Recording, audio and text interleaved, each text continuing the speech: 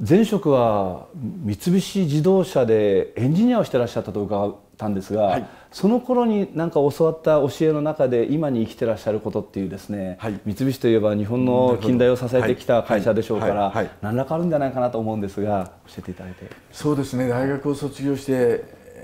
三菱自動車に入ってエンジン設計部という非常にまあ花形の部門に配属されて、はい、死ぬほど働かされました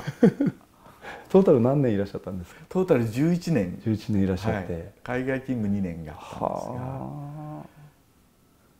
今だからもう言ってもいいかもしれませんが残業だけで300時間とかですね。毎月。はい。そういう月ありました。それ以外に勤務時間が160時間ぐらいありますから、え。ー、でつかないんですよもちろん。つかない。つかない。だからおの同じものづくりの会社で村上製機に来て、えー、なんだこれはあまりにも違いすぎると。違いすぎると、時間あたりの給料村上製機の方が高いなみたいな。そんなに猛烈に働いてたんですね。猛烈でしたね一時期。まあそういう時期もありましたから。人間の幸せって何だろうって本当に考えました。なるほど。だけどエンジニアとしての考え方は三菱自動車に僕は育ててもらいましたから判断の軸とかですね、はい、どんな判断軸を教えてもらったんですか？あのできないとか言えない風土だったんですなるほど、ね、なるほど。なるほど。できないと言えない風土。言えない。だから無理やりでもやるんです。で結果が良くないからやめようっていうのはあるんですけどね。でもとにかく何かをしてする。なるほど知恵はなんぼでも出るんだな。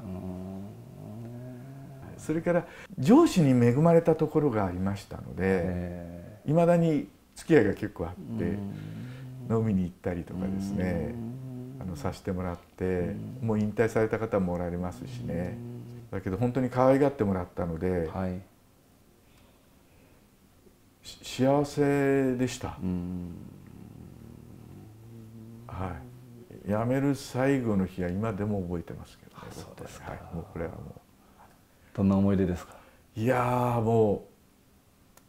う3週間連チャンの飲み会なんかみんないろんなところでやってもらって、えー、最後の日にですね、えー、飲み終わってタクシーでアパートまで帰ってきたはい、でタクシーを降りた瞬間に、はい、なんで僕はこの会社を辞めなきゃいけないんだろうっていう溢れるような涙が、はあ、いい人たちと仕事をすることの喜びっていうのを存分に味わいました。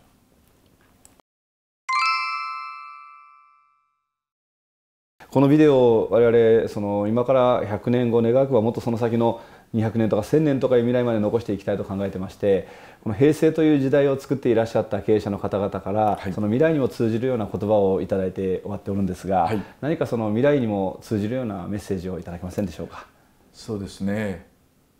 ちょっと漠然とした言葉かもしれないけれども今思っていることは世界がものすごく不安定で